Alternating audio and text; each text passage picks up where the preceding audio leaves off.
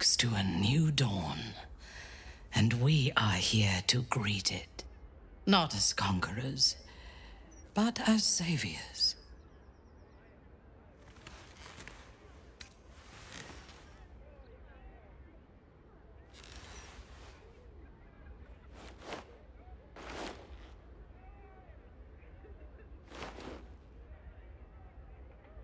Yes, I would like that. No more gods or monsters, no devils or demons to manipulate our fate. We reclaimed our freedom, though everything was against us. What would you do with it?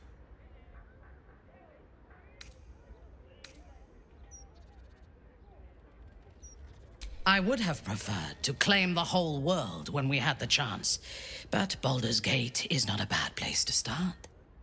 We can put the Gondians back to work, rebuild the Steel Watch, and march to Waterdeep with an unstoppable army at our back and a song of conquest on our lips.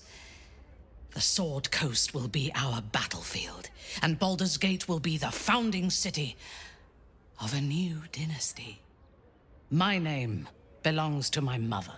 So our house will have a new name, your name. And the world will learn to fear it. But we can look to the future tomorrow, or the day after. Today, let us think only of ourselves in this moment. We have won a lifetime together.